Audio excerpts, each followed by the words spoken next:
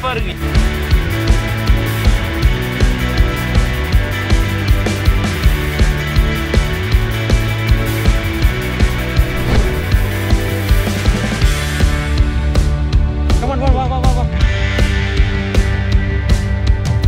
பாருங்க நல்லா ஜாலியாக என்ஜாய் பண்ணிட்டு இருக்காங்க.